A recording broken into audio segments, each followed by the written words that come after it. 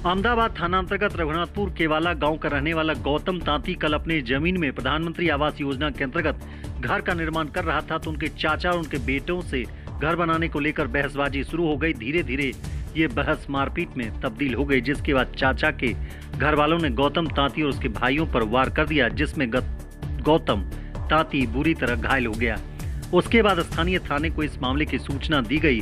फ़िलहाल घायलों का इलाज सदर अस्पताल कटिहार में चल रहा है।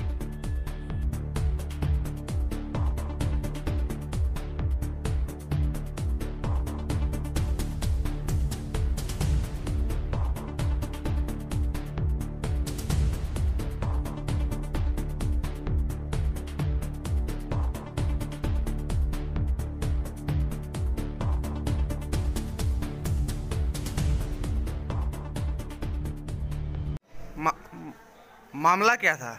ज़मीन का मामला था। तो कैसे कैसे हुआ झगड़ा? मकान बनाने लगे तो अपना अपना ज़मीन में मकान बनाने लगे तो गाली करके हम लोग को मारने बहता है। कौन? चाचा बहता था चचेरा भाई था चाचा का लड़का सब कब हुआ ये मारपीट का घटना? कल हुआ है। छः बजे रात में। किनको किनको मार लगा है? गौतम को भयानक मार लगा है। हम्म, गौतम आप हुए? जी। और? जीतू लगा है। जीतोष को लगा है।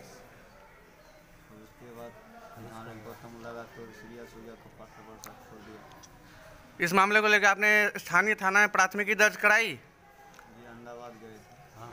वहाँ से यहाँ भेजा गया है। वहाँ से कहाँ के निवासी है आप? रघुनाथपुर का। थाना कौन सा पड़ता है? अहमदाबाद। क्या नाम है आपका? गौतम। पिता का नाम? लक्ष्मी तांती। श्री लक्ष्मी तांती। Ward number? क्या था? ज़मीन का मामला था। तो कैसे कैसे क्या हुआ? ज़मीन में घर बना रहे मकान। हाँ। अपना ज़मीन है। रहे थे बस वहाँ पे हमारा गौतम भाई को मार दिया। क्या चीज़ से मारा? लोहा से रड से। ओ, कौन मारा? सुभाष तांती राजू तांती सुदीन तांती अमर तांती। चौदह मिल के मारा। अभी तक किसी गिरफ्तारी हुई है? नहीं अभी नहीं हुआ। क्या नाम है आपका? हरीश तांती। आपको भी मारा है।